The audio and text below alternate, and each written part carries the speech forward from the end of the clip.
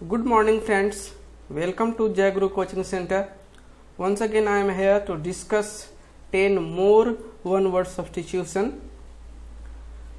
Then let us start one by one. 10 more 10 uh, 10 word ones one word substitution along with that all four options मैं सभी चारों option का explanation और वो भी details में और आसान लैंग्वेज में बताने वाला हूँ तो आइए 10 मिनट के लिए कंसंट्रेट हो जाइए अपना अटेंशन हाई कर लीजिए। List of headings of the business to be transacted at a meeting मतलब कोई भी मीटिंग होता है तो उसमें क्या क्या डिस्कस करने के लिए जो हेडिंग बनता है, उसको क्या बोलते हैं? एजेंडा हिंदी में कार्य सूची। ओके फ़र्स्ट ऑप्शन देख लीजिए। Schedule how many schedules are there in India in Indian constitution तो कहेंगे बारह शेड्यूल आपका क्या शेड्यूल है? स्कूल का शेड्यूल क्या है? चार बजे से लेकर पाँच बजे तक? शेड्यूल समझ में आ रहा है? शेड्यूल आपका पढ़ने का शेड्यूल क्या है? ओके एक शेड्यूल बनाइए। बोलते हैं ना? This is very common next C option देख लीजिए। प्रोसीडिंग्स प्रोसीडिंग्स कोर्ट का प्रोसीडिंग्स हिंदी में कार्यवाही। किसी केस का प्रोसीडिंग्स होता है, कार्यवाही होता है। ओके डी ऑप्शन देख लीजिए। एक्सर्प्ट यहाँ पर मैं प्रोनाउंसिएशन भी लिख दिया हूँ। एक्सर्प्ट जैसे इंटरव्यू होता है, एक इंटरव्यू पूरा लॉन्ग इंटरव्यू होता है, और पैसेज वगैरह जो पेपर वगैरह में आ जाता है, उसका संक्षिप्त कह सकते हैं, थोड़ा सा अंश लेके, एक अंश तो उसको बोलते हैं एक्सर्प्ट अ पैसेज और segment taken from a longer work such as liter literary यहाँ पे साथ में है ये such as literary okay literary literary में साहित्य म्यूजिकल कंपोजिशन और डॉक्यूमेंट्स और अ फ़िल्म उसका कुछ अंश लेकर कहीं पर प्रकाशित किया जाता है, लिखा जाता है that is called excerpt okay excerpt का सिनोनिम क्या हो जाएगा? एक्सट्रैक्ट निचोड़. किसी चीज़ का निचोड़ निकाल लेना मतलब उसका पूरा सारांश, निष्कर्ष, रस, जो मेन थिंग है, उसको निकाल के प्रकाशित करना. That is called excerpt a process involving too much official formality मतलब बहुत ज़्यादा ऑफिशियल नियम कानून रहता है तो उसको हम क्या बोलते हैं? रेड टैपिज्म आंसर देख लिए रेड टैपिज्म सी ओके पहला ऑप्शन देखिए निफोटिज्म निफोटिज्म मतलब पाँच, पक्षपात. भाई भतीजावाद you can say favouritism favouritism shown to relatives favouritism shown to relatives relatives को जो फेवर दिया जाता है that is called nepotism okay B option देख लीजिए diplo diplomacy diplomacy skill in dealing with people skill in dealing with people एक ऐसा skill होना जो पीपल के साथ डील करना और बात करना। The art of conducting international relation भी दूसरे कंट्री के साथ जो रिलेशन आर्ट होता है, बातचीत करने का that is also called diplomacy in Hindi कूटनीतिज्ञ देशों के बीच राजनीतिक संबंध को भी कहते हैं। The ability to deal with others in touchy situation without offending them touchy situation मतलब संवेदनशील सिचुएशन अप्रसन्न ऐसा व्यक्ति को भी कहते हैं टच्ची जो कि तुरंत अप्रसन्न हो जाता है। ओके विदाउट ऑफेंडिंग ऑफेंड मतलब किसी को बुरा ऑफेंड करना। मुझे आप, ऐसा आप बोले जिससे मैं ऑफेंड हो गया। मतलब मुझे बुरा लगा। That is called offend okay next option D देख लीजिए। ब्यूरोक्रेसी जिसमें नौकरशाही, दफ्तरशाही क्रेसी मिस रूल होता है, शासन। ब्यूरो मिस जिसमें ऑफिशियल रिले रहता है इन्वॉल्व ऑफिशियल मतलब नौकर नौकर मतलब ऑफिशियल नौकर, जो गवर्नमेंट का नौकर होता है, वैसा जो उसके द्वारा शासन चलता है, ऑफिशियल सर्वेंट के द्वारा दैट इज़ कॉल्ड ब्यूरोक्रेसी नौकरशाह दफ्तर शाही।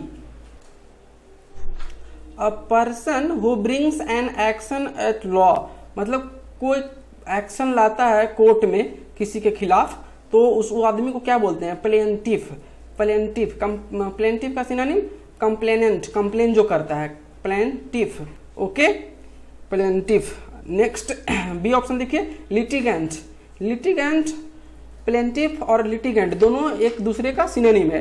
लेकिन डिफरेंस क्या है? सपोज़ दैट आप कुछ गलत काम किए, मैं आप पर केस किया तो प्लेंटिफ मैं हुआ, लेकिन लिटिगेंट आप हुए और मैं भी लिटिगेंट हुआ। मतलब किसी केस में जो इन्वॉल्व रहता है ना, उसको बोलते हैं लिटिगेंट लिटिगेंट लेकिन प्लेंटिव में डिफरेंस है कि मैं आप पर केस किया हूँ तो मैं प्लेंटिफ हुआ। लेकिन आप पर मैं जो आरोप लगाया हूँ प्लेंटिफ हुए ओके डिफरेंस समझ में आ गया होगा? प्लेंटिफ है लिटिगेंट में। लिटिगेंट जो केस में इन्वॉल्व रहता है, चाहे आप पर केस किए, चाहे हम किए तो हम भी लिटिगेंट हुए और आप भी लिटिगेंट हुए। लेकिन प्लेंटिफ मैं केवल हुआ, क्योंकि मैं आप पर केस किया हूँ, ठीक है? Next depo deponent deponent means one who one who gives testimony by affidavit affidavit और डिपोजिशन डिपोजिशन के द्वारा मतलब सामने हाजिर होकर जो गवाह देता है टेस्टिमोनी मिस गवाह, या एफिडेविट के द्वारा एफिडेविट के द्वारा मतलब लिख कर लिखित में जो देता है गवाह, उसको बोलते हैं डिपोनेंट डिपोनेंट ओके डिफेंडेंट बहुत ही डिफेंस से समझ लीजिए। डिफेंडेंट जो अपने आप को जो बचाव करता है that is called defendant okay तो यहाँ पर आंसर हो गया A okay the short remaining end of a cigarette cigarette का जो अवशेष बच जाता है, उसको क्या बोलते हैं? स्टब आंसर बी क्या हो गया? स्टब नेक्स्ट फ़र्स्ट ऑप्शन देख लीजिए. स्टंप क्रिकेट में स्टंप होता है. तीन स्टंप रहता है. दैट इज़ कॉल्ड स्टंप मतलब लकड़ी का टुकड़ा भी कर सकते हैं. ओके थर्ड ऑप्शन देख लीजिए. C rag rag a piece of cloth use for cleaning washing और डस्टिंग मतलब एक क्लॉथ का छोटा टुकड़ा को क्या बोलते हैं? Rag okay cloth. A scrap. A scrap a small piece. A, a rag of cloths कह सकते हैं. Scrap मतलब a small piece. A small piece of cloths. ठीक है? Cloth scrap food scrap food का छोटा टुकड़ा फ़ूड जो गिर जाता है जूठा वगैरह उसको बोल सकते हैं food scrap okay the place where public government public government और historical records are kept public का और गवर्नमेंट का चाहे कोई भी ऐतिहासिक रिकॉर्ड्स रखा जाता है तो उसको क्या बोलते हैं? आर्काइव आर्काइव जहाँ रखा जाता है, उस प्लेस को बोलते हैं आर्काइव आर्चिव्स नहीं होता है इसका प्रोनाउंसिएशन आर्काइव ओके नेक्स्ट देखिए फ़र्स्ट ऑप्शन कॉफर कॉफर मतलब जहाँ पर we store valuable things valuable things के जहाँ पर स्टोर करते हैं, रखते हैं, उसको बोलते हैं कॉफर कॉफर मतलब यहाँ पर देख लीजिए, तिजोरी, खजाने का संदूक, उसको बोलते हैं कॉफर। Okay, pantry. रेलवे में पैंट्री होता है ना, जिस भी रेलवे में पैंट्री अगर नहीं होता है तो वहाँ पर हम लोग को नहीं मिलता है खाने के लिए कुछ भी। That is called pantry, okay? Small store room for storing foods okay? Clear हो गया? Scullery scullery means small room next to kitchen जो किचन के बगल में रूम रहता है, बर्तन वगैरह साफ़ करने का, उसको बोलते हैं scullery okay archives we have already discussed इसका आंसर हो गया डी आर्चिप्स आर्चिप्स इसका प्रोनाउंसिएशन नहीं होता है आर्काइव होता है। आर्चिव्स हम भी बोल रहे हैं यहाँ पर, लेकिन ये आदत बैठा हुआ, लेकिन ध्यान दे दीजिए इसको आर्काइव बोलते हैं। Archive okay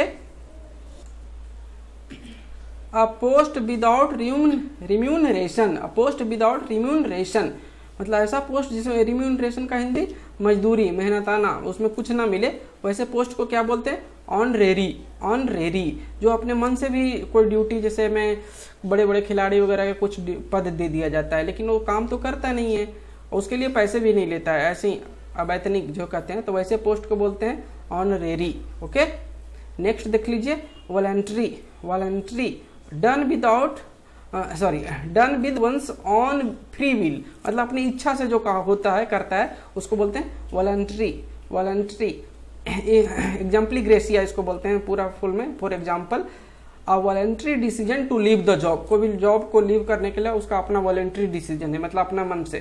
ठीक है? देख लीजिए साइन क्योर बी ऑप्शन देख लीजिए sinecure an office that involve minimal duties minimal duties रहता है, बिल्कुल बहुत कम ड्यूटीज़, लेकिन हाई पे रहता है, उसमें पैसा ज़्यादा मिलता है, ठीक है? वैसे ड्यूटी को क्या बोलते हैं? Sine sinecure of, sinecure, okay? Involuntary, just opposite है वॉलेंट्री का involuntary okay some functions are involuntarily performed such as breathing digestion heart beating ये सब अपने आप होते रहता है, इस पे आपकी इच्छा नहीं चलता है, ठीक है? That is called involuntary. यहाँ पर आंसर कौन सा हो गया? रेरी option C